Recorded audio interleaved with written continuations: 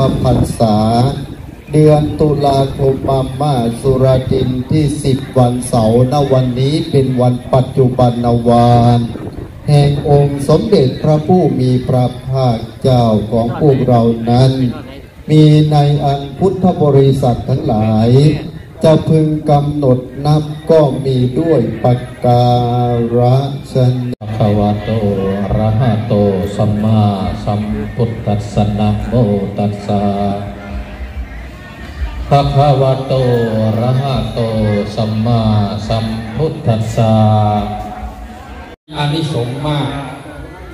ตำกับจานเวลาเป็นบุญที่แปดสองบุญมหาชาติบุญมหาชาติใครที่ ทำบุญมหาชาติฟังเทศ 13 กันภายในวันเดียวจบ โดยไม่ง่วงหลับไม่ง่วงหงาหาวนอน ถือว่าท่านได้อานิสงส์มาก แล้วก็บุญอุปสมบทก็คือบุญบวชทั้งสามบุญนี้ ใครได้ทำแล้ว ถือว่าจะได้ไปพบพระศรีอริยเมตไตรพระพุทธเจ้าองค์ต่อไป ฉะนั้นวันนี้ก็ต้องขออนุโมทนา ท่านเจ้าภาพที่ได้เอ่ยนามไปแล้วที่ได้ร่วมกันทำบุญในวันนี้ เพื่อพุทิศกาลปผล ที่แสดงถึงความกตัญญูกตเวทีเป็นการจันลงพระพุทธศาสนา สืบทอดและให้กำลังจิตกำลังใจแก่พระพิสุสามเณรผู้สืบทอดเป็นบุญที่มีอานิสงส์ทั้งผู้ให้และผู้รับ ฉะนั้นวันนี้ก็ต้อง ออนุโมทนากับท่านเจ้าภาพ ที่แสดงความกตัญญูกตเวที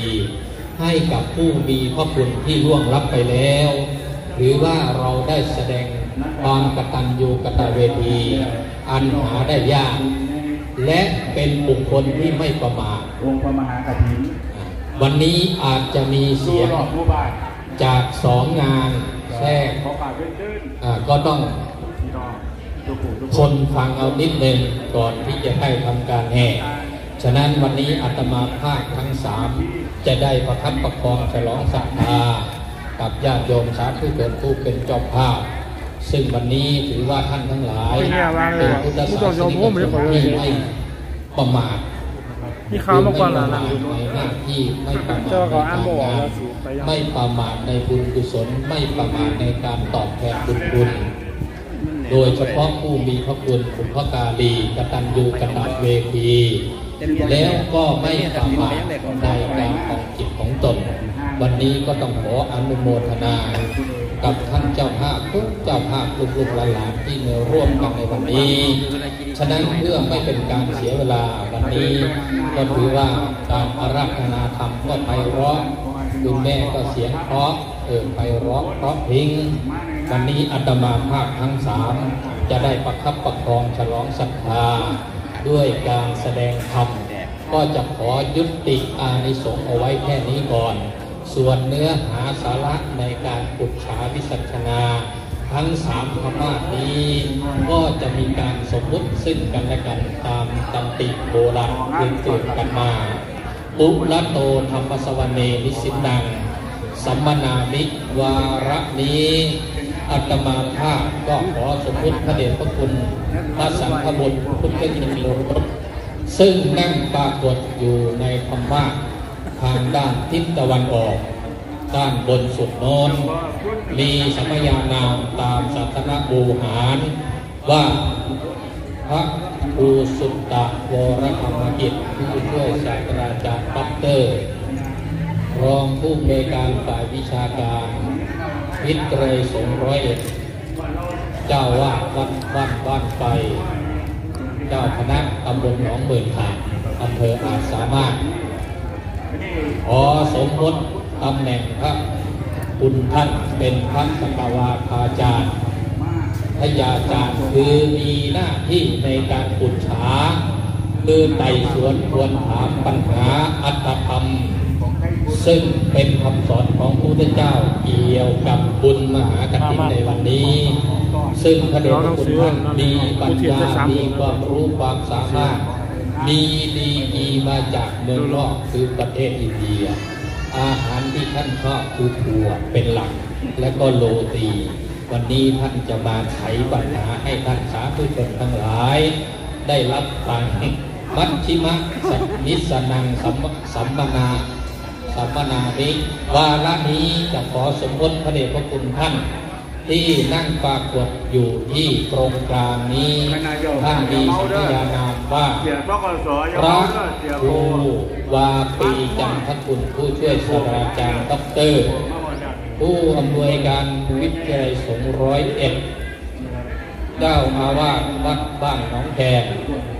เจ้าคณะตำบลเหนือเมือง เป็นผู้เชี่ยวชาญ เป็นผู้ประสานสิทธิเป็นผู้มีปัญญาเฉลียวฉลาด อาหารที่ท่านชอบเป็นอาหารร้อนๆกินแล้วร้อนช้อนกลางแล้วก็ช้อนดูเพื่อป้องกันโรคโควิด ในช่วงนี้ก็จะให้สมมติท่านเป็นพระปรวาที มีหน้าที่ในการวิสัชนา คือตอบปัญหาสยัเมวาหังอัตตานังสัมปนาดิส่วนอัตมาภาคยังเป็นน้อยด้อยความรู้ ก็จะสมมติตนอาโอกาสนี้จะขอสมมติตนเป็นพระปรวาทยาจารย์คือเป็นผู้ตอบปัญหา ในวาระเอกตัสมาสาธโวเพราะฉะนั้นท่านสาธุชนอุบาสกอุบาสิกาทั้งหลาย จงตั้งโสตประสาทดุจภาชนะของรองรับพระสัทธรรมเทศนา ซึ่งอัตมาภาคทั้งสามจะได้ประทับประคองฉลองศรัทธา ให้กับท่านสาธุชนได้รับฟังเป็นผู้นำทุกคสัตเพื่อให้เกิดความรู้ใหม่ ได้วิจัยเรื่องเก่า ได้บรรเทาความกังขา ได้พัฒนาความคิด จิตแจ่มใสใจเบิกบานนี่เป็นอนิสงส์ของการฟังธรรมทันเตสกวาทโยนักโอกาสวันนี้ ขออาราธนานิมนต์พระคุณเจ้าที่ได้สมมติสมัญญานาม จงดำเนินเนื้อพามตามบุรพภาคประโยคคาถา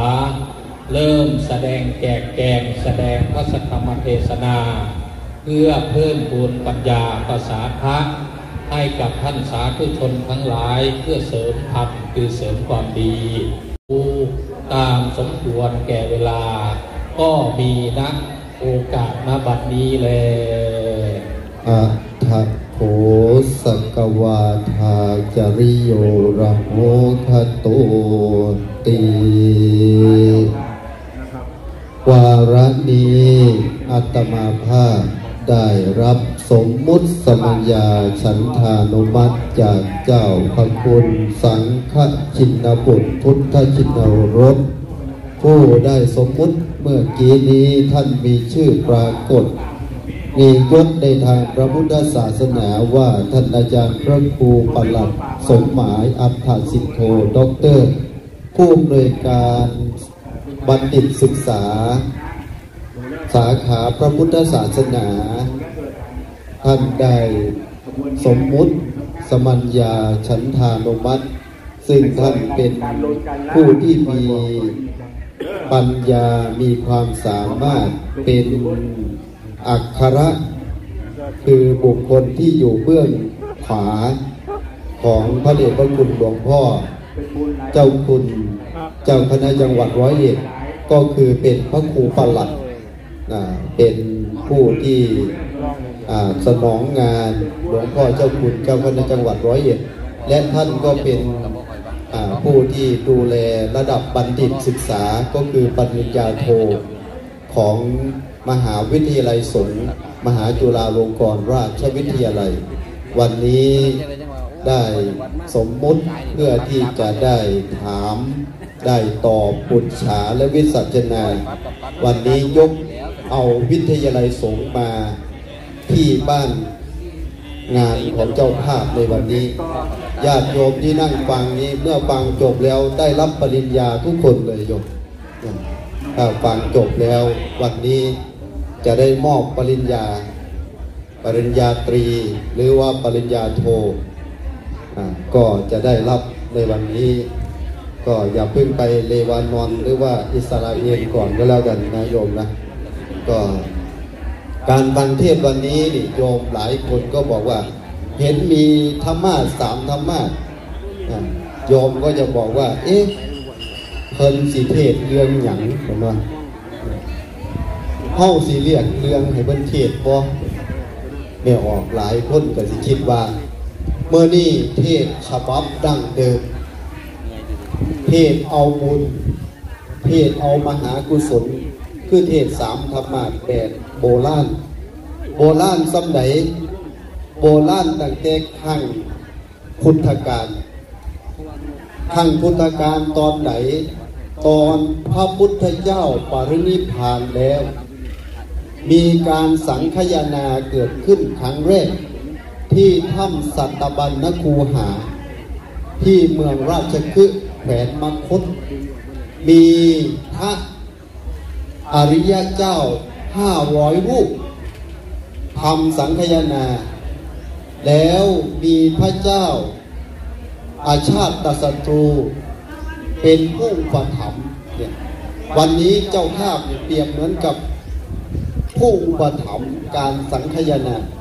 เนี่ยก็เลยเป็นบุญอันยิ่งใหญ่ทำกันอยู่เจ็ดเดือนในครั้งนั้น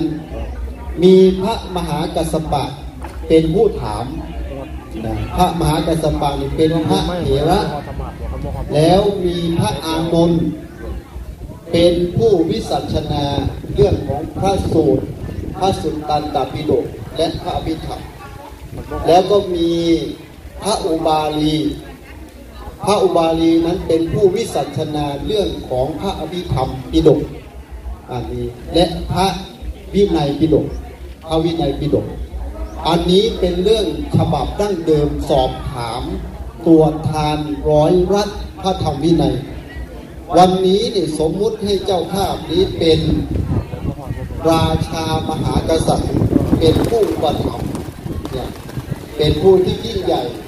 เพราะว่าผู้ที่จะทำบุญกระถินนั้นต้องเป็นผู้องค์อาจเก้วกล้าอาจหารเจงสมมุติวันนี้ ทางเจ้าพระคุณเจ้าพม่าโน้นท่านได้สมมุติให้เป็นพระสักวาทยาจารย์พระมหากัสสปะ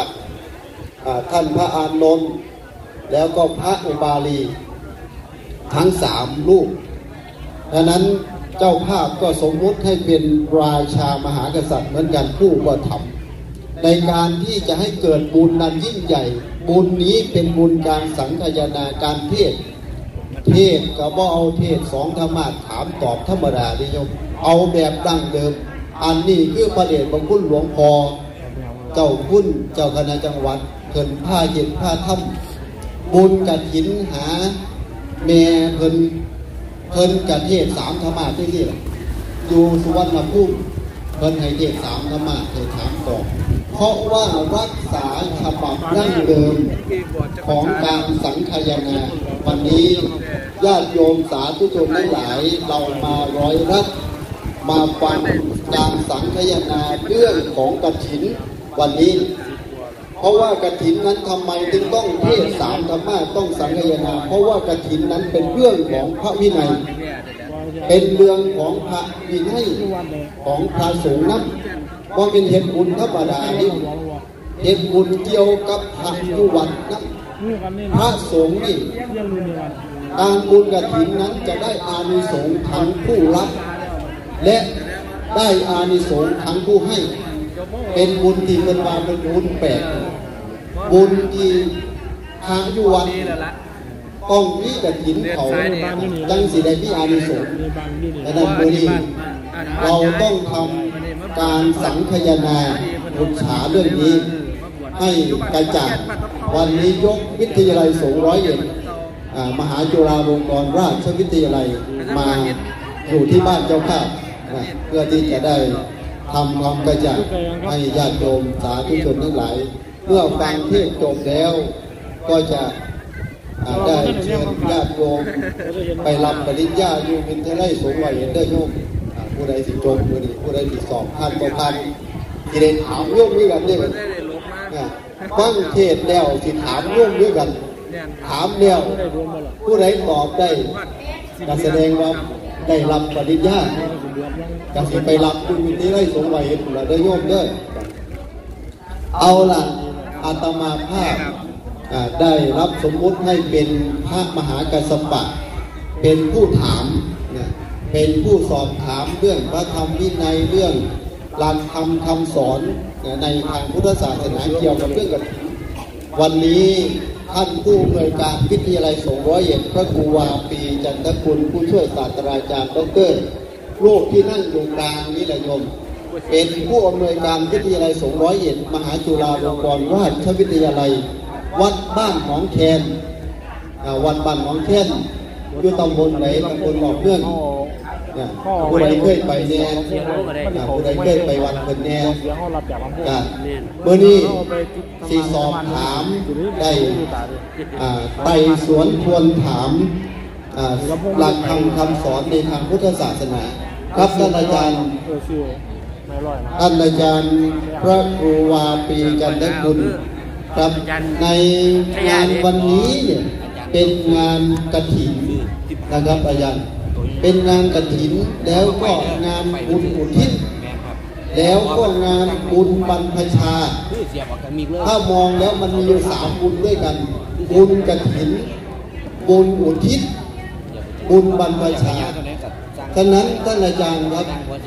บุญกฐินคำว่ากฐินน่ะมันมีความหมายอย่างไร และมีมูลเหตุมาอย่างไร จึงเรียกว่าบุญกฐินครับท่านเป็นอัน ผู้ใดน่าจะคุล้วบอเลยอัตถโขปรวัทจาริโยบ้านนี่ก็บ้านแม่ครั้งนั้นแหละพระปรวาทยาจารย์ผู้นั่งอยู่ ได้สดับรับฟังซึ่งปัญหาว่าที่พระสักวาทยาจารย์ ได้ทวนถาม ซึ่งก็สงสัยในการทำบุญ ในการสงสัยเกี่ยวกับเรื่องที่ท่านทั้งหลายผู้มาร่วมในงานกฐิน ซึ่งจะประกอบพิธีขึ้นในอีกไม่กี่นาทีข้างหน้า ในปัญหาที่ท่านได้ทวนถามถามว่าความหมาย ของกฐินอ่าเป็นอย่างไร กับผมหรืออัตมภาพจะได้วิสัชนาเพื่อให้เป็นประโยชน์ เป็นคุณเป็นสิ่งที่เข้าใจและนำไปใช้ไปปฏิบัติ ไปบอกลูกบอกหลานเพื่อให้เข้าใจในสิ่งที่เรากำลังจะทำ โบราณท่านว่าถ้าเราเข้าใจในสิ่งที่ทำย่อมรับลึกถ้าเราเข้าใจในสิ่งที่กระทำย่อมจำได้ ถ้าเราเข้าใจในสิ่งที่ทำอานิสงส์ย่อมยิ่งใหญ่นั่นก็หมายความว่าที่ท่านในทำในวันนี้มีความหมายว่าอาอยู่สองประการ ความหมายที่หนึ่งคือเป็นบุญ ความหมายของเป็นผ้าผู้ใดไปบวชนี่ท่านอาจารย์ครับจังได๋ล่ะคันบวชอยู่น้ำบ้านนี่ก็อันนั้นอันนี้เนาะที่ว่าเป็นบุญ ที่ว่าเป็นบุญนั้นก็คือเป็นเป็นนามธรรมเรียกหลายอย่างอ่าเป็นนามธรรมที่ว่าเป็นผ้าก็คือเป็นผ้ากฐินครับอ่าอีกความหมายหนึ่งก็ว่าเป็นไม้ เป็นไม้ไม้สะดึงก็เลยว่าอ่าไม้สะดึงหรือไม้กฐิน กฐินเนี่ยมาจากต้นไม้ขึ้นมาอ่าไม้เอามาคึงเอามาเอามาขึงมาตากผ้าปีสิบห้าปีก็เลยเอินว่า ไม้สะดึงหรือกระถินครับไม้ตากผ้า อันนี้ความหมายที่หนึ่งครับความหมายที่สองผ้ากระถินผ้ากฐินเป็นเรื่องของผ้ากระถินที่มาทำกันทุกวันนี้ ซึ่งอยู่ในช่วงของบุญกระถินคือการกระถินเรียกว่าผ้ากระถินผ้าจีวรนั่นแหละ แต่ว่าถึงเวลาการที่ผ้าพระท่านต้องไปแสวงหาตามพระธรรมวินัยและหลังจากที่ออกพรรษาแล้วหนึ่งเดือน จะต้องจาริกไปหากระถิน เพื่อเป็นอนิสงส์ให้เกิดขึ้นกับท่าน แสวงหาผ้าเรียกว่าผ้ากระถินไอความหมายที่สามนี่บุญความหมายในที่นี้หมายถึงว่าบุญ บุญมีหลายบุญ แต่ว่าบุญที่ในอานิสงส์ที่จำกัด เวลาจำกัดประเภทจำกัดบุคคลจำกัดการเรียกว่าบุญกระถิน ทั้งสามความหมายนี่ครับอาจารย์ครับ แล้วมูลเหตุที่ มีบุญกระถินขึ้นมันมีมูลเหตุจากสาเหตุอะไร หรือว่าเป็นพุทธประสงค์ หรือว่ามีต้นเหตุต้นบัญญัติในเรื่องของกระถินนี่มันมีมาอย่างไรครับท่านอาจารย์กระถินเนี่ยครับมันมีความเป็นมา มีความเป็นมา เป็นมาที่พระพุทธเจ้าครับใช้คำว่าเป็นพระพุทธอ่าพระพุทธานุญาตครับ ทรงอนุญาตให้มี จึงมีได้ ไม่มีผู้ขอ ไม่มีผู้ขอตอนโลกนั้นเลยทรงอนุญาต แต่ก่อนเนี่ยทำเองครับพระพุทธเจ้าเนี่ยเดี๋ยวเขาไปทำสเออนงเขาดิครับทำให้พระภิกษุต่อมาก็อนุญาตให้เออมุ่นมุ่นมุ่นเดินนางวิสาขาหรือเศรษฐีมหาเศรษฐีเจ้าเจ้าว่าทำกันมาเรื่อยๆอ่าจนพวกเราได้ทำตามมีงานอย่างมุ่นเดินอาจารย์แล้วปีเริ่มต้นที่ตอนอื่นไหมอ่าครั้งสมัยหนึ่ง ครับพระภิกษุจำนวน 30 รูปสามสิบรูปเดินทางจากเมืองสาเกตใช่ไหมครับอ่าไปเมืองปาถาใช่ไหมครับอ่าเดินทางที่จะไปหาเฝ้าพระพุทธเจ้าครับอาจารย์ลูกพี่ใหญ่อยู่ก่อนออกพรรษานี่ลูกแม่เพิ่นให้พระไปก่อนพรรษาก่อนออกไปเพื่อไปแสวงหาที่ออกพรรษา ก่อนออกพรรษาที่ห้าวัน ไปพระภิกษุเหล่านั้นเดินทางจากเมืองปาถามาเมืองสาเกตใช้เวลานานพอสมควรเดินทางด้วย ระยะทางลูกที่โอไปสมัครที่เต็มไปด้วยกวากน้ำความยากความลำบาก ผ้านี่เพียงปอนไปด้วยน้ำไปด้วยโคลนตมข้ามอ้าผ่าเข้าวันครับพอไปถึงเมืองสาเกตแล้วพระพุทธเจ้าทรงประเห็นจำของต้นท้ายนี่เนาะปีเพื่อไปฟังธรรมเห็นพระเราสงสาร ท่านก็เลยมารบที่จะหาผ้าให้ครับอ่าอยากให้ผ้าได้พระอยากให้พระมีผ้าชื่อความหมายก็คือผ้าอยากให้พระมีผ้าใส่มีผ้านุ่งเหมือนโยมที่ทำวันนี้อยากให้พระได้มีผ้าใส่พระพุทธเจ้าทรงเห็นว่าถ้าเราทำผ้าให้พระสามสิบรูปครับท่านเหล่านั้นก็คงจะมีผ้าใส่ เนื่องจากว่าฤดูกาลผ้าก็หมดจึงอนุญาตหรือทำหรือทำทำกันกินพาพิชวนภิกษุเราทำผ้าให้ทำผ้านุ่งผ้าห่มให้พระเหล่านั้นครับอันนี้อันนี้ความเป็นมาต่อมาก็นางวิสาขาก็ทรงขอว่าเห็นว่ามันเป็นบุญใหญ่ ต่อมาเนี่ยให้ฉันทำได้ไหมให้ข้าพระพุทธเจ้า ให้ผู้ขาเฮ็ดใส่บอน เป็นตะได้บุญหลายได้เอ้ยไปขอพุทธเจ้าทรงอนุญาตงานงานบวชให้อนุญาตเพราะว่าโยมไปทำได้ก็เลยเป็นธรรมเนียมว่าเราคารวะก็ทำได้จนมาถึงปัจจุบัน อาจารย์เห็นบอลมือนี่แม่แม่บุญหลาย จัดงานบุญใหญ่เนี่ยครับเพราะว่าเป็นบุญบุญกระถินกระถินก็แปลว่าใหญ่ยิ่งใหญ่มหากระถิน คนมากกับหลายครับของกินกับหลายอะเห็นบ่คนมางานก็หลาย บุญก็หลายของกินก็หลาย เจ้าภาพกระบุญหลาย เจ้าภาพก็บุญหลาย กันเทศกันเทศกันเทศกันหลายอย่างท่านถึงฉันเดินครับมีแต่แนวอะไรล่ะครับผู้ฟังก็ได้บุญครับได้บุญหลายแต่ผู้ผู้เทศก็ได้บุญหลายอ่า ปรากฏว่าจัดงาหนมาเนี่ยก็ฝนก็ตกหลายหลายจนทำจนละเรียบไปเลยนะอันนี้เกิดขึ้นเพราะบุญบุญของแม่บุญหลาย ลูกหลานก็มามากมาหลายหน้าก็หลายเห็นว่าเราก็จะเห็นว่า ไม่ติดไม่ขัดไม่ขาดไม่แคนเต็มไปด้วยความอุดมสมบูรณ์ หลายก็หมายความว่าเยอะมากเพิ่มพูน อันนี้เป็นเพราะ พระพุทธเจ้าทรงอนุญาต แม่บุญหลายก็เลยถือเอาธรรมเนียมนั้น ว่าครั้งหนึ่งในชีวิตอยากอุทิศบุญกุศล ให้ญาติ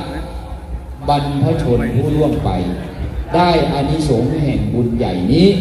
จึงปารบกับแม่แสงจันทร์แม่ปันดับญาติพี่น้องเนี่ยคิดเห็น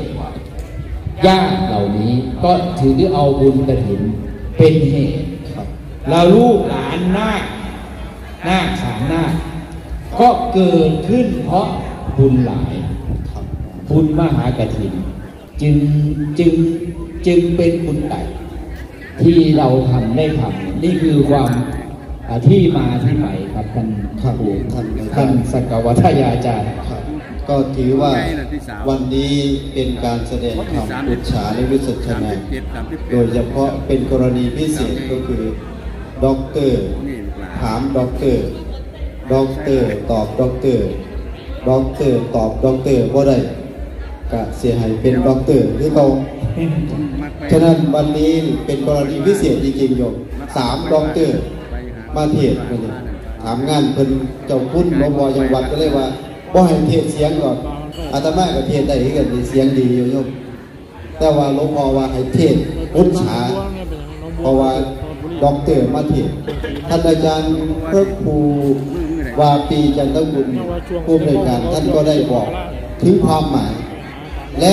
มูลเหตุเป็นพุทธานุญาตโยมผู้ใดเห็นก้อนเพิ่นอนุญาตแล้วนั่งพิสาขาเห็นเห็นแล้วก็ต่อกันมาจนมาหอดโยกแม่บุญหลายเป็นผู้เห็นจนว่าฮอดมื้อนี้ต่อไปก็สิมีผู้ต่ออีกถ้าแม่บุญหลายบ่ต่อไว้มันก็สิขาดเด้ นี่เป็นผู้รักษาพระธรรมวินัยอีกผู้หนึ่งเนี่ยรักษาวัดวัดไปทอดวัดใดนี่โยมไปทอดวัดบ้านแค่นเหนือ วัดบ้านแค่นเหนือปีนี้สิจำไว้เลยว่า ปี 2563 ผู้ใดทอดกระถิ่นก็สิจำไว้ได้คิดได้ใจไว้ว่าแม่บุญหลายเป็นผู้ใดทอดในปีนั้นมีกองเดียวนี่แหละที่ได้ทอดจำไว้ในปีพศน่ะ ฉะนั้นต่อมาเรื่อยๆ2,563 ปี แสดงว่า 2,500พวกกองเลยแต่ต่อมาจากพระพุทธเจ้าแล้วจนว่ามาหอดแม่บุญหลาย ผู้ใดสีต่อในปีหน้าได้สีในเห็นจังสิอันนี้เป็นการสืบต่อกันไปจนถึงห้าพันปีห้าพันพระวัติศาสตร์อันนี้เป็นการ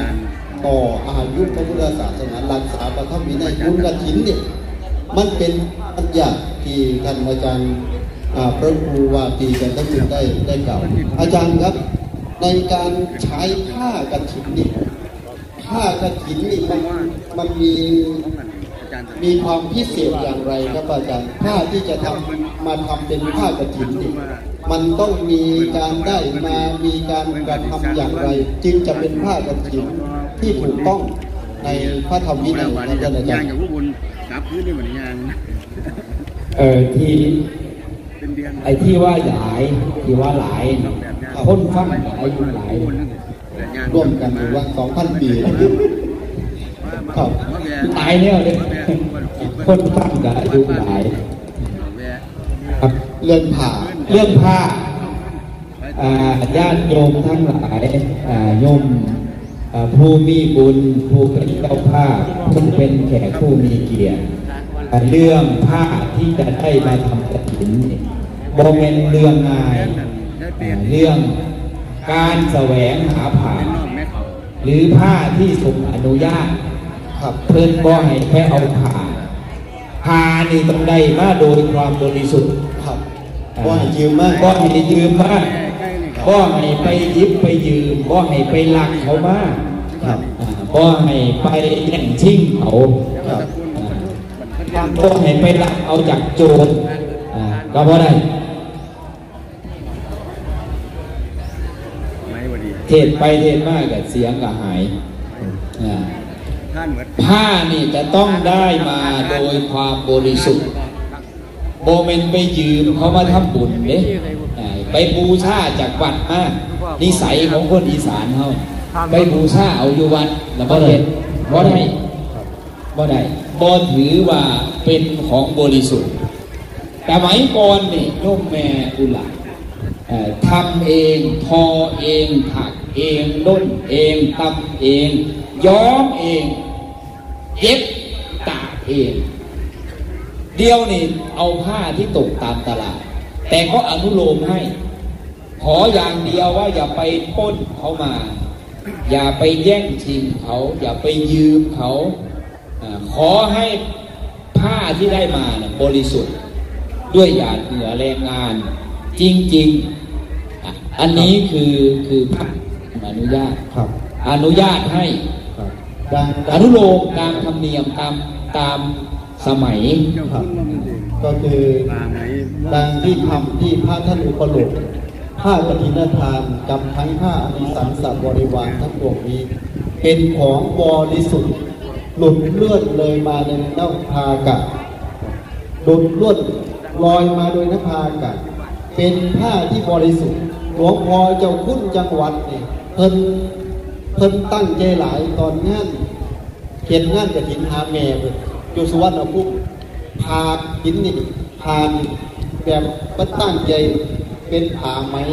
ตั้งใจเฮ็ดไปตั้งพากับหินนี่ผมว่าให้ผู้ใด เงินที่เอาไปซื้อผากิน เป็นเงินที่ต้องแบบว่าเพิ่นเอาเงินเจ้าของเงินเจ้าของ เอาเงินสดซื้อเอาบ่เอาเงินคนมาโฮมของนอกมันเส้นเบิดครับแล้วผ้าของบริวารอื่นเส้นเบิดปะนะเอาเหรอเออน้ำมันรถกับเส้นอาหารเส้นไว้ทุกอย่างเส้นไว้เบิด สิ่งที่บ่ได้เส้นไว้คือผ้านอกนั้นก็ทิ้งแล้วจะไปจ่าย อันนี้คืออันนี้พูดถึงที่อื่น อันนี้คือคนมีปัญญาไม่ใช่ที่นี่อ๋อคนมีปัญญาอย่างบุญคนมีปัญญาครับคนมีปัญญาไปเข้าใจในการทำบุญแต่อย่าเป็นหนีเรื่องผ้าครับเรื่องผ้าเป็นเป็นเรื่องผ้าเนี่ยย่อมบ่ได้ครับเพราะกระถินเป็นเรื่องของผ้าโยมแม่ไม่ใช่เรื่องของเงิน ไม่ใช่เรื่องของโซฟา ไม่ใช่เรื่องของตู้เย็น ไม่ใช่เรื่องของกองระฆังไม่ใช่เรื่องรถ แต่เป็นเรื่องผ้าผ้าผ้าขาดผ้าไม่ครบสามผืนนี่ไม่ใช่ครับเอ่อเป็นสิ่งที่ควรระวัง เป็นที่ควรเคยได้ยินกระถินเน่าบ่ครับ เคยได้ยินกระถินบูดบ่กระถินกระเศร้าหมถิอนงเน่ากระถินเหล้ากระถินบูดเคยได้ยินบ่กระถินเศร้าหมองกระถินเศร้าหมองครับ กระถินเศร้าหมองหมายความว่ามันมันเป็นยังไงท่านพระพูดครับกระถินเน่ากระถินเหล้ากระถินบูดกระถินเศร้าหมองบ่เป็นกระถินเห็นไหมครับบางคนเนี่ยเอาเอาเอาอย่างนี้เป็นประท่านโบแมนครับไปเอาไม้มาลองครับลองกองกระถินไว้ครับทำกลว่าอย่าให้คนเข้าไปได้ป่ะนะ ย่านคนเขาไปไปไปไปควรกองกระถินเนี่ยกระถินมันสีดอกเอาไม้มาล้อมไว้แล้วมองรอบได้ไหมบ่อ้อมไว้ย่านคนเขาไปสู้ผ่าย่านย่านกระถินดอกเท่านั้นครับดอกแปลว่าเสียหายดีบ่ได้ลอกไว้จังไหนก็บ่เสีย ครับ เน่าในที่นี้ก็หมายความว่ามารวมกัน มันเน่าเน่าในที่นี้ก็คือมันไปใส่ก็ได้พี่น้องยิดกันครับใกล้ผู้หลาย ออกหน่อยออกหลายออกเท่านั้นเท่านี้บ่พ่อใจกันเอามาล่ะบ่เอาไปใส่ตามวัตถุประสงค์ อันนี้ก็เน่าบ่บ่เป็นบ่เป็นดอกของพระเด้ แต่ก็เป็นเน่า เพราะยังไม่ทอดครับเน่าเพราะว่าเฮาเห็นให้เน่าใส่บ่ได้ใส่บ่ได้ครับ อันนี้คือเน่าเหล้ากับเล่นหลายครับทั้งเด่นทั้งกินกันครับเหล้าให้ให้ควมเศร้าหมองครับเศร้าหมองก็จัดงานขึ้น เอามาล่ำมาล่ำกันโค้นขากันตายใส่เศร้าหมองเสียหายมีคนตายใส่กระบวนเด้ครับเคยมี อันนี้เคยมีกระถินเน่ากระถินเหล้ากระถินเศร้าหมองท่านอาจารย์ครับท่านอาจารย์พูดคำหนึ่งว่ากระถินดอก มูลเหตุแห่งกระถินดอกมันเป็นยังไงเนี่ยโยมเคยได้ยินคำว่าดอก ดอกกับกระถินดอก ดอกก็แปลว่าหมายหหมายอะเคยได้ยินว่าหมายขันหมากว่าหมายขันหมาเป็นหมายคือบ่ได้แดงดอกนี่ก็คือหมาย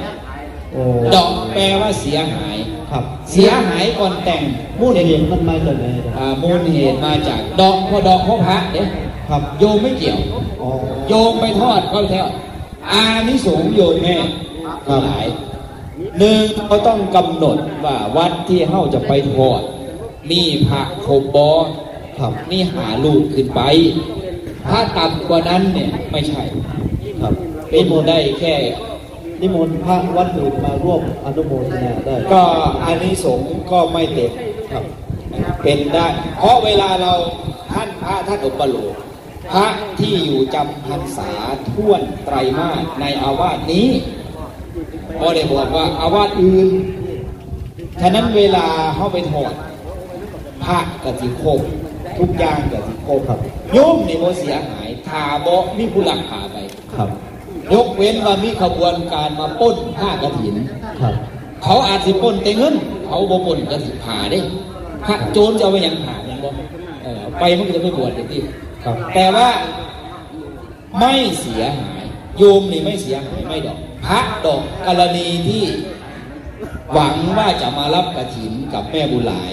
ครับ แต่ว่ามาไม่ทัน ครับ มาไม่ทันในที่นี้ก็คือมีเจตนาที่จะไปรับที่อื่น ครับ ที่แรกรับรับปากแม่บุญหลายว่าจะมารับกระถินให้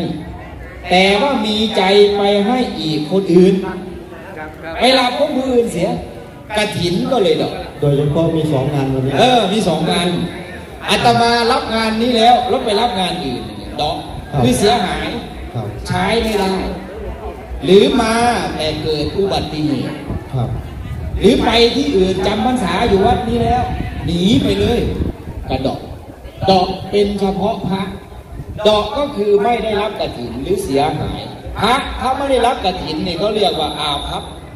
ครับโยมบ่อาภัพได้ไปถอดในสบายแต่พระนี่อาภัพทุกวัดจะต้องได้รับกระถิน แม่ไปอย่างแม่แม่บุญหลายเนี่ยพร้อมด้วยญาติพี่น้องไปทอดกระถิน ไปเติมเต็มให้พระอาฉันเพิ่นเคยอาภัพเพิ่นกระถินเศร้าอาภัพ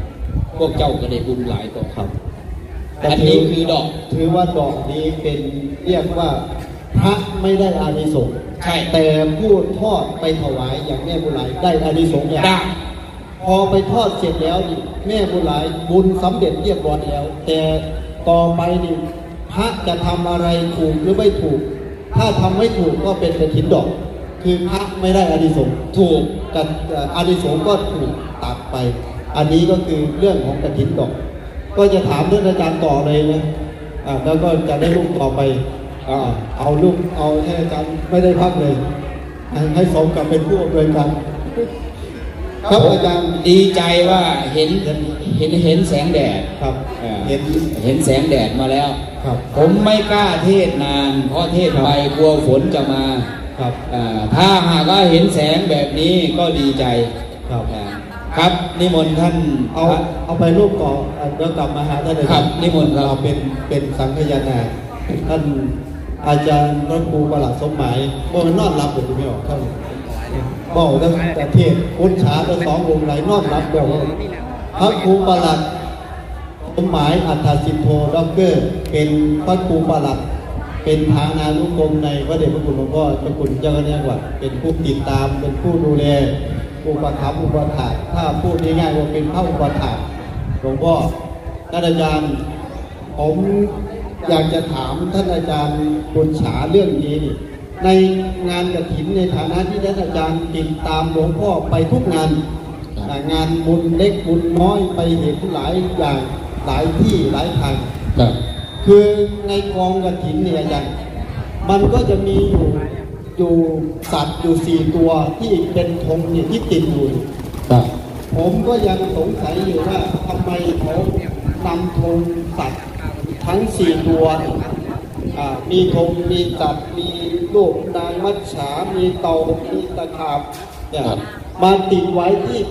กองกระถินนี่มันมีมาตั้งแต่สมัยพุทธกาลเลยเหรอที่ทำกระถินแล้วต้องมีสัตว์ธงสัตว์ทั้งสี่อย่างนี้ติดมาด้วย มันมีมูลเหตุ มีสาเหตุ มีปริศนาธรรมอย่างไร ท่านอาจารย์พระคุณเจ้า ครับผม ว่าสิว่าได้เว้าน้ำโม แม่บนหลายเพิ่นเว้าหลายหลายเพิ่นเป็นได้กันเทศหลายก็โมเนาะเป็นเป็นผู้บุญหนัก แต่ว่าอาตมาเลี้ยวไปบางไก่เห็นบักเท้าได้เสียนักก็โมเอามาถวายเพิ่นแน่เอออาตมาเบาๆกันได้ดอกฉะนั้นท่านถามผมครับเรื่องสัตว์ครับสี่สัตว์สี่ชนิดใช่ไหมมีจระเข้ครับ แข่บ้านเฮามีเตา มีมัดฉา มีขีเข็บครับ ครับ มันเป็นปริศนาธรรมอยู่ เตานี่เพิ่นว่าอย่างเป็นตัวแทนของสติกำลังสิเรากับเป็นสัญลักษณ์ของการที่ว่า วัดนี้ได้ทอดกระถิน รับกระถินไปเรียบร้อย เปิ้นกระถินปดเตาลงเออเต้านี่มี หกอย่างอายตอายตนะหกคือรูปเสียงกลิ่นรสโผฏฐัพพะอมารมณ์กระทบกับตาหูจมูกลิ้นกายใจ เท่ากับอวัยวะเตานี่หายางก็คือสีขาสีขา มีหัวมีหางเป็นหกบ่บัดหกอย่างอายตนะหกอย่าง แต่ถ้ามองให้เป็นสักการะลาภก็เป็นผู้ที่มีอายุยืน เป็นมหาลาภ ย่ามทอดกระถินแล้วผู้ใดก็อยากได้ไปไว้อยู่บ้านอยู่ห่างอยู่ล่างเอาไปให้พาเป็นเจิม เพราะว่าพานมาเลยอันนี้คือเตาโอ้อ่าเตายัตนะหกครับ การการเป็นการสอนสอนสอนไปในตัวเพราะว่าเต้านี่แขนเองนี่ที่สอน สอนหนึ่งสอนโยมน้ำนี่สองสอนพระน้ำพระอยู่วัดนี่ไปพระเห็นเต้านี่ก็ให้เป็นว่าให้สำรวมด้วยอายตนะทั้งหกครับ ถ้าโยมนี่สอนเรื่องอย่างแม่ว่าอย่าจะเป็นสัตว์ข้างหัวเตาเด้อเดี๋ยวสัตว์หัวเตาเป็นยังไงปุปุโพโพเตรียมการมาแล้วสิมาโฮมน้ำแม่บุญหลายก็สิมาเป็นตัวอาหารก่อนว่ามีอย่างแนวกินเนี่ยตอนรับดีว่าเนี่ยเอาซอกซุปไว้ในถุงก่อนอ่าไปเบิ่งก่อนอ่าก่อนสิกลับแล้วไปเบิ่งอ่าเบิ่งอ่า เสียบบ่เสียบของมีแนวหอใส่ถุงเปล่าบ่อ่าตอนรับดีบ่ถ้าบ่ดีก็ดึงออกจากซ่อนก็ตั้งใจว่าสิมาพ่วงหาร้อยก็เอาไปสักสองร้อยอันนี้สันท่าของโตโยมสอนโยมด้วยกันอันนี้ฉะนั้นกันหินนี่คนว่าเป็นผู้ที่หมั่นคงดิกันหินนี่แปลย่าอยู่แปลว่าหมั่นคงเนี่ยผู้ที่ไปทอดนี่ย่าจะเป็นสันท่าของโตเนี่ย ต้องหมั่นคงกันยังไงมีการปากไปสักคนมีการเย็บเป็นแย้มปีหมดเนี่ยอันนี้คือเตาสอนเทิงพระสอนเทิงโยมอะก็ไปอาจารย์ชีเช็ดตะขาบตะขาบมีควาหมายว่าอยู่อ๋อตะขาบนี่ตามอ่าเป็นในแล้วเขาว่าเป็นผู้ที่มีความโกรธ สอนในเรื่องของความโกรธความโมโหเออปากจัด เขียดเร็ว อิจฉาลิษยาปากกาเอินมามีผิดหลาย ครับ เออซ้ำอ่าเมียดาผัว หรือว่าการทะเลาะวิวาทการเป็นกระถินเนากี่หลักกี่ครับเป็นเบา เพราะฉะนั้นแทนความโกรธสอนธรรมะบ่อยเฮาเกลียดบ่อยเฮาโกรธบ่อยเฮาอ่ามีความอิจฉาริษยา บ่อยเครียดแค้นเป็นนั่งกินเขาด้วยกันเห็นปะมาโฮมกันหลาย เออเป็นมิตรภาพบอกบอกเกียบบอกผมให้กันอย่างโยมสาธุชนเออเป็นผู้ที่มีนิสัยใจก้อนดีเออบอกเกียบบอกผมเป็นกินเขารับประทานอาหารไปนั่งฟังไปนั่งฟังเทศไปนั่งกินเพื่อพระไปนั่งแน่ละเออเอาเพราะฉะนั้นก็คือกี่เคสก็คือตัวแท นกับ คือแทนความโกรธแก้ความโกรธ ครับสอชีนเช็ดนี่สอนเป็นการสอนพระสอนญาติสอนโยมการเดียวกับหินนี่เพิ่นก็เลยว่าว่าญาติโยมผู้เดียวกับหินนี่ต้องเฮ็ดใจดีนี่ใจหมั่นคงผู้ใดที่มายั่วมาย่อมาโอ้เอากับหินกับเฮ็ดเอานาซื่อๆดอกก็ต้องทนเด่นแม่บ่หลายเเฮ็ดกฐินกับพ่อสำนั่นล่ะแม่บุญหลายต้องทนเด็ เฮ็ดงานบุญนี่ย่าสไปโกรธขี่เข็มนี่สอนเจ้าภาพ สอนโยมด้วยกันเมื้อนี้มาสิมาโฮมบุญผู้มาโฮมบุญกันคือกันมาสิมาโฮมบุญผมมีผู้ใดมาต้อนรับเลยว่านี่ทดสอบทดสอบเอารมณ์บุญมาโฮมบุญเยอะก็อาจจะมีความโกรธความเครียดความบ่พอใจอิจฉาโอ้ยบุญ กระถินนี่ถ้ามันเย็นคักเย็นแน่เย็นนั่นก็อิจฉาขี้เข็บนี่สอนว่าให้มีความหมั่นคงครับเราก็เป็นสัญลักษณ์ของการปักไว้ว่าอ่าปักอยู่ในวัดว่ามีภูมิจองแล้วเรียบร้อยนั่นคือขี่เข็บครับในในขี้เข็บนี่ก็สอนสอนข้างวัดนํว่าขี้เข็บนี่มันสิมันมันสิออกย่ำใดก็ย่ำกันขึ้นหรือว่าขี้เข็บนี่มันสิ เรียกว่าสิสอนพระสอนโยมการเกี่ยวการขึ้นการเล่นออกกันขึ้นนี่ก็มีแนวค่ะต้องอยู่วัดคือว่าอันนี้เรื่องของจีเดียเป็นการสอนงานสอนโยมสอนครอบครัวที่ครอบครัวครับอาจารย์ต่อไปเป็นอ่าลูกจระเข้จระเข้ก็คือสมัยโบราณอ่าเป็นพงเป็นพหวกรือว่าเป็นดาวจระเข้ ที่ว่าเขาสิเบิ้งดาวสะกอนแล้วก็เดินทางไปถอดแตะกอนนี่บ่มีรถบ่มีล่าเอ่อใส่อ่าดาวจระเข้นี่เป็นสัญลักษณ์พอเดินทางไปทอดวัดใดวันหนึ่งแต่ที่แก่งก็ดี อันนี้ก็คือในหนึ่งในอีกในหนึ่งก็คือการที่อ่าพวกนี่ที่ว่าจระเข้เนี่ยจระเข้สอนอย่างอาสอนคือความโลภครอบโลโลกภะ โลภะกินจุกินบ่เลือก กินบ่พิจารณาเอออันนั้นก็คือความโลภครับกับโลภคือสอนว่าก็อย่างให้เห็นแก่ของแก่ท้องกับไม่เห็นแก่ปากแก่ท้อคืองท่งกันท่งจระเข้สอนพระน้ำเป็นว่าเวลาเอาไปเอาไปทอดนี่พระเป็นสีเห็นแค่เป็นปริศนาธรรม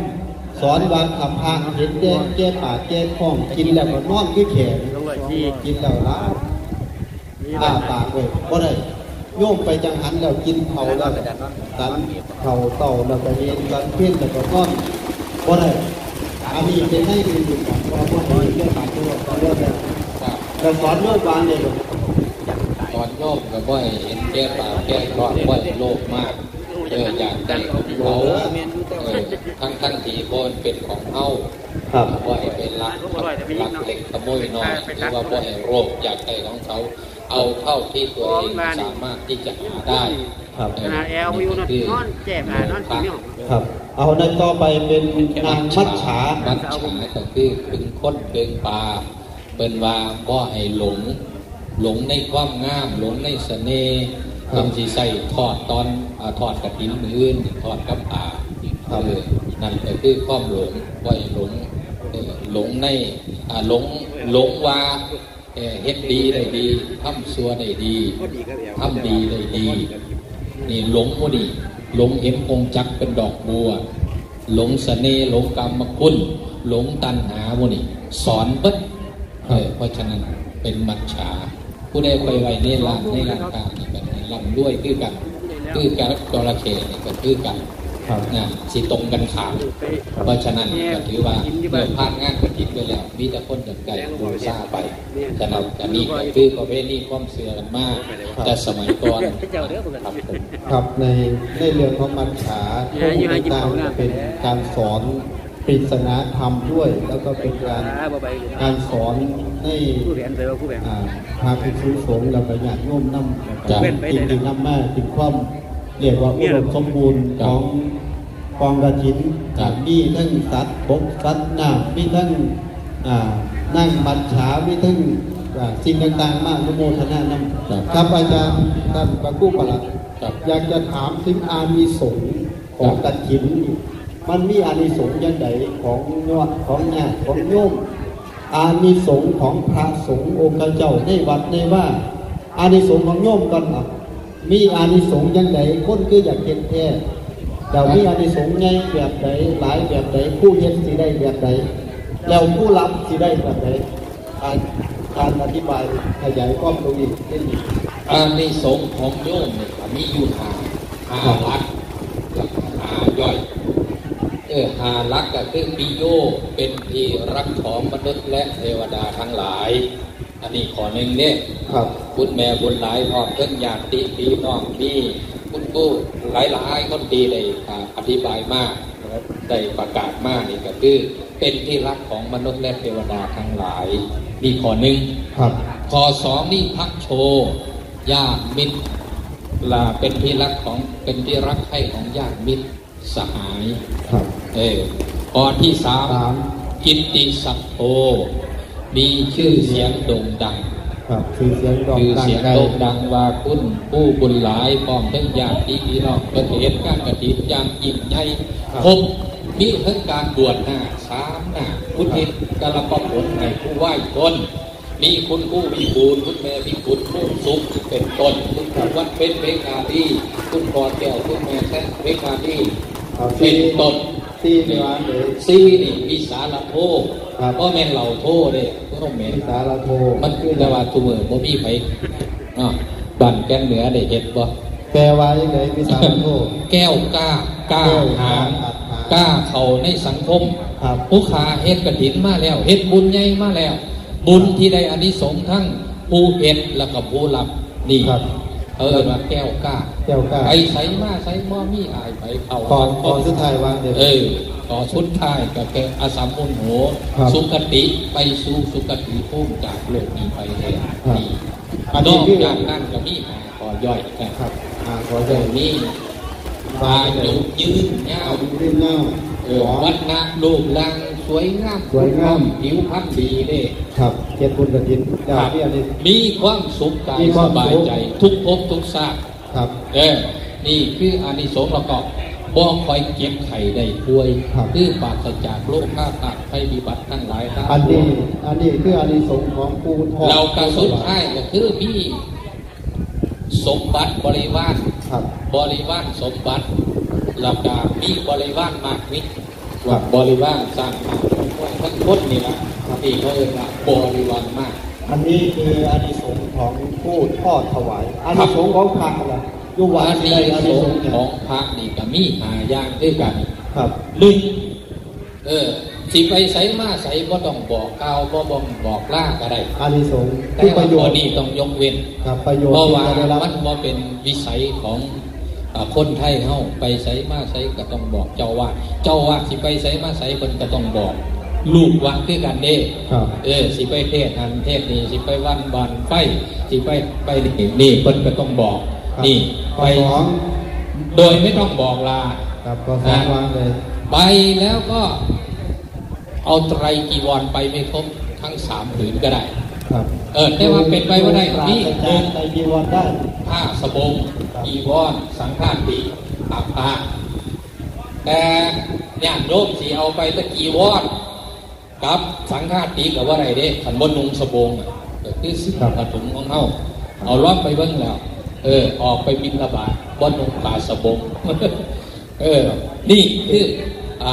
แต่จริง ๆ แล้วส่วนมากคนที่ไปก็คือบ่ต้องนำผ่าสังฆาติคือผ่าผ่านไปน้ำได้ ครับกิจตอนแล้วก็สบงนี้ขาดไม่ได้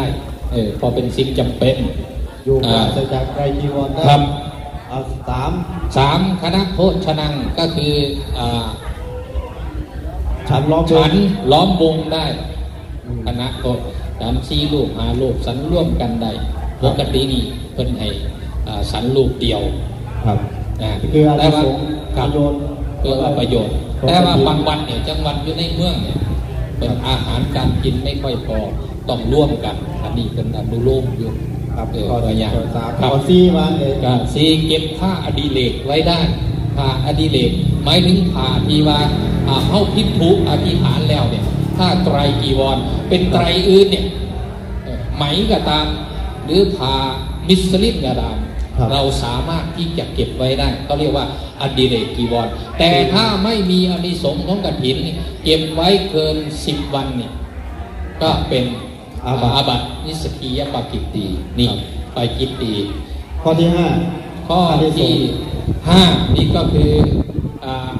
ลาบสักการะเกิดที่ไหนก็เป็นของเธอเป็นของที่รักเพราะเป็นของผู้อื่นใดผู้ที่เป็นเจ้าคณะจังหวัดมาก กับภาษาหาดีเราไปเพราะว่าจะหันกับเป็นของผู้รับเป็นของเธอนี่ก็คือหายาอานิสงส์ครับทั้งผู้ให้และผู้รับกันในอานิสงส์ของกฐินครับดังที่ได้กล่าวมากก็คือได้ทั้งครูให้และครูรับครับอ่าทั้งสองฝ่ายนี่บุญกฐินอย่างเดียวที่เกิดขึ้นฉะนั้นเป็นบุญพิเศษบุญที่แปดครับท่านอาจารย์บุญที่แปด หันเขามาทางท่านอาจารย์พระครู่ว่าปีจันทคุณอ่าเฮากับที่ได้ไม่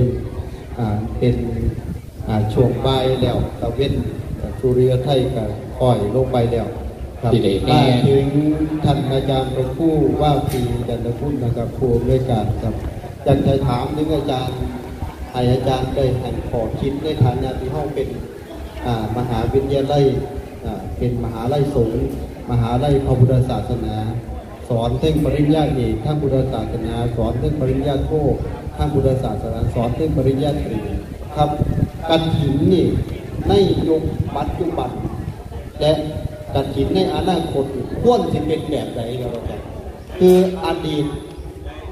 ทางพุทธการอาจารย์ก็ได้เล่าว่ามูลเหตุมันเป็นอย่างนั้นมาแล้ว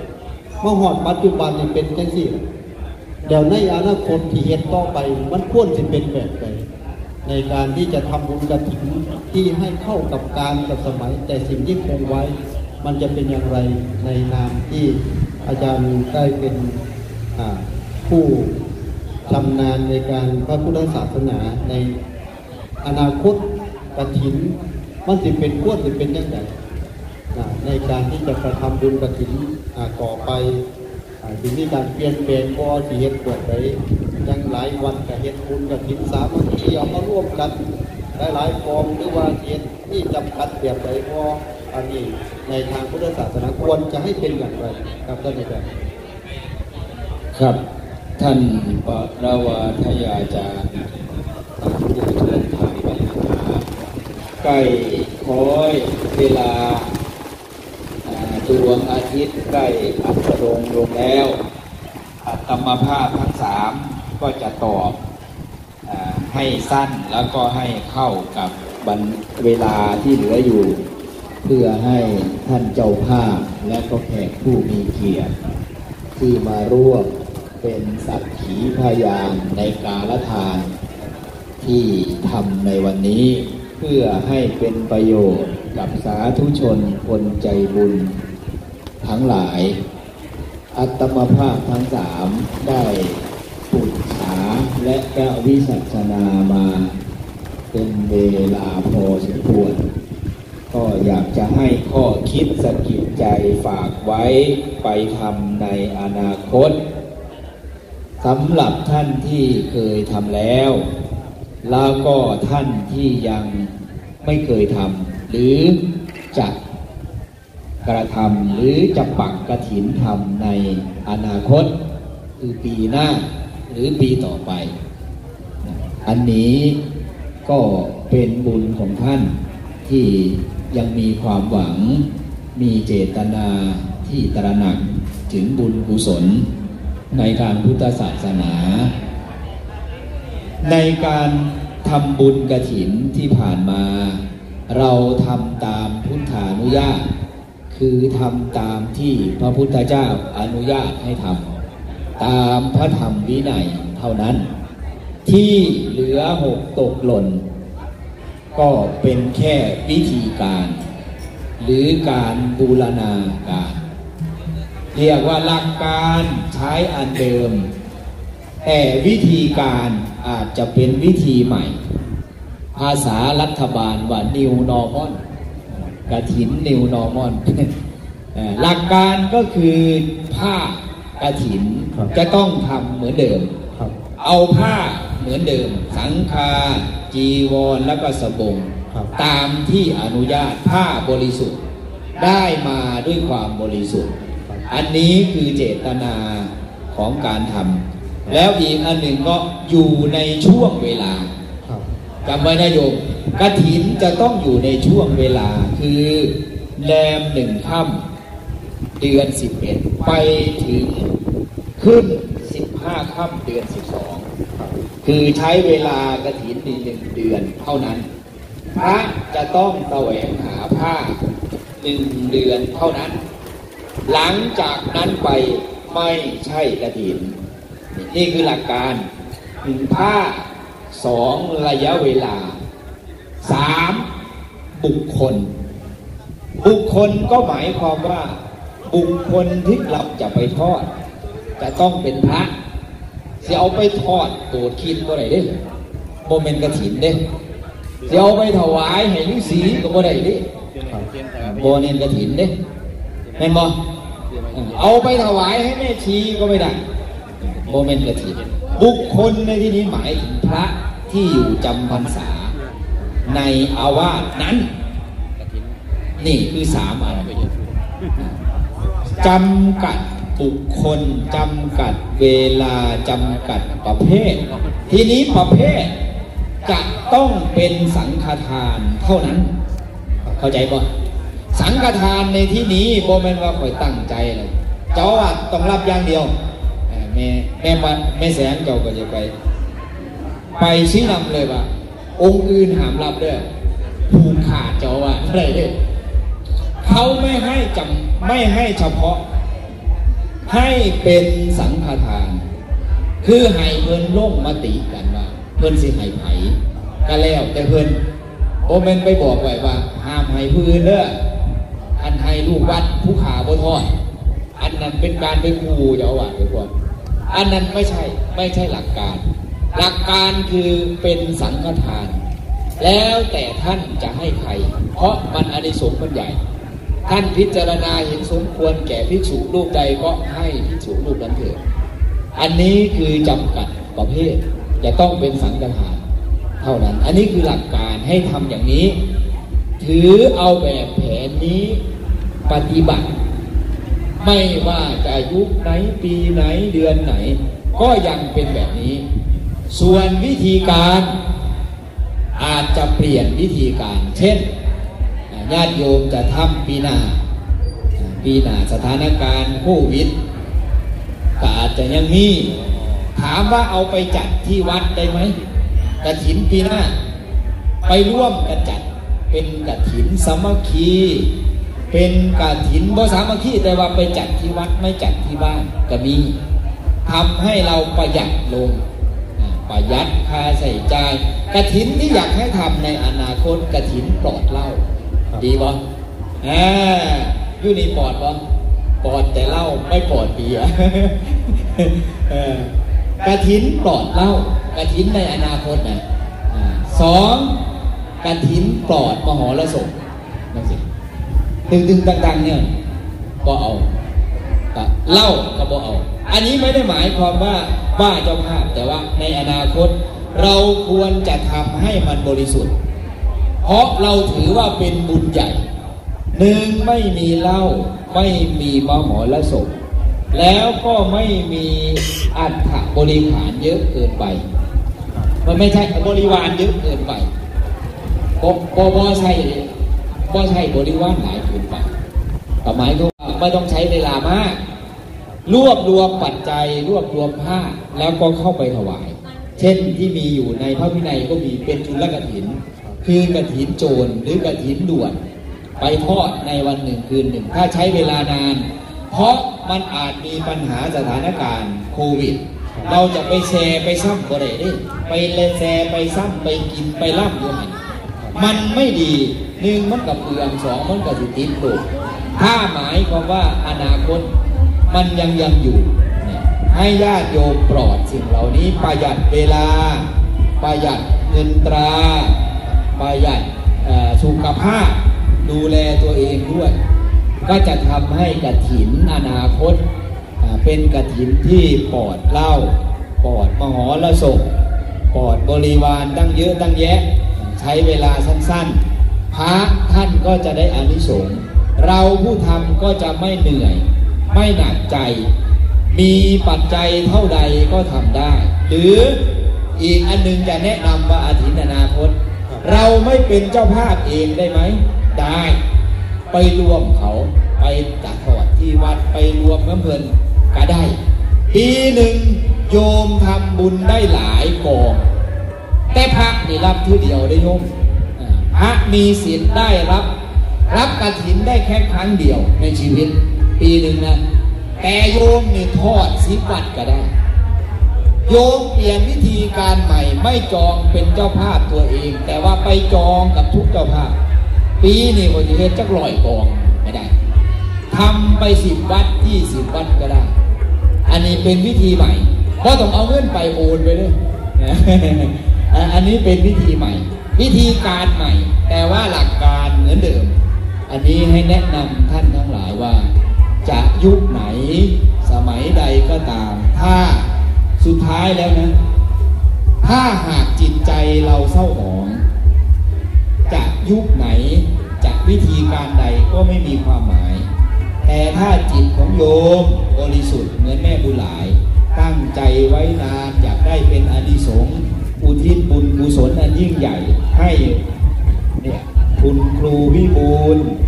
มูลสุข แม่พิพุลมูลสุขครูวันเพ็ญเพงอาลีแม่แสงเพงอาลีพ่อแก้วเพงอาลีมีความตั้งใจ อยากจะอุทิศบุญให้ อันนี้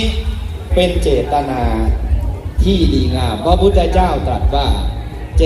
ตนาหังพิกเวปุญยังวทามิ ดูก่อนภิกษุทั้งหลายคาถาคตกล่าวว่าตัวบุญเนี่ย เป็นเจตนาอันดี บุญที่คิดถึงเนี่ยที่คิดไว้ว่าอยากทำให้ จึงเป็นเครื่องเครื่องหมายให้คุณแม่และก็ญาติพี่น้อง ทุกคนที่มาทำยืนยันท่านทั้งหลายว่า เป็นคนดี มีภาษิตรับรองว่าดียังไง ดีว่าดีมิตตังสาธุรูปานังกตัญญูกตเวทิตา กล่าวได้ว่าแม่บุญหลายพร้อมคณะเป็นผู้มีความกตัญญูต่อบุคคลเหล่านี้ เขาเรียกบุคคลเหล่านั้นว่า เครื่องหมายของคนดี เครื่องหมายก็คือเขาเหล่านี้ทำบุญให้กับปู่ย่าตายายปารกกถินสามประการก่อนที่จะจบลงได้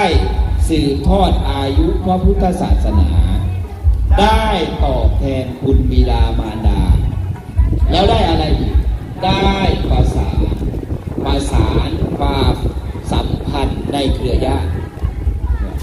ได้ประสานความสัมพันธ์ในเครือญาติสืบอายุพระศาสนา แล้วก็ได้ตอบแทนคุณบิดามารดาสามอย่างนี้เป็นสิ่งที่ท่านทั้งหลายได้ด้วยกัน ที่เป็นญาติที่เป็นแขกผู้มีเกียรติก็ดีล้วนแต่ผู้ได้สืบพระศาสนา และที่สำคัญที่เห็นอยู่นี้คือบุตรหลาน แม้จะทำกระสินอันยิ่งใหญ่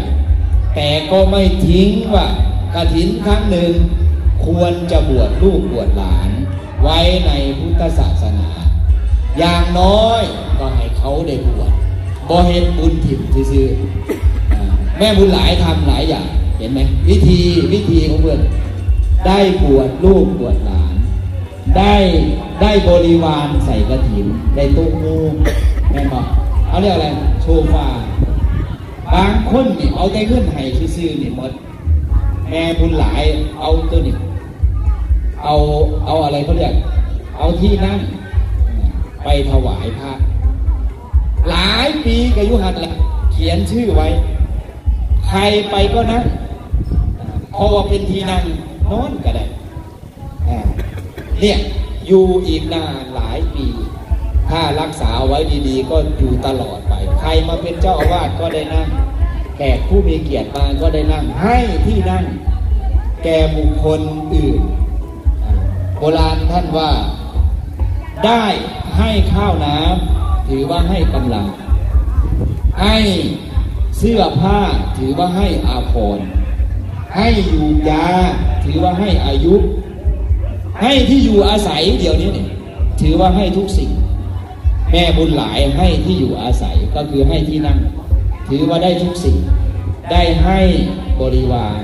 ที่ปรากฏในพุทธศาสนา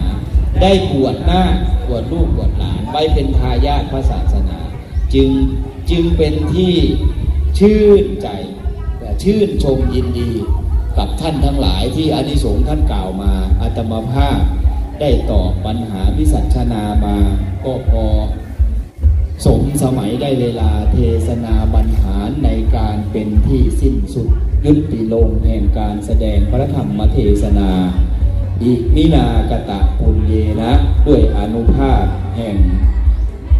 กาลทานที่คุณแม่บุญหลาย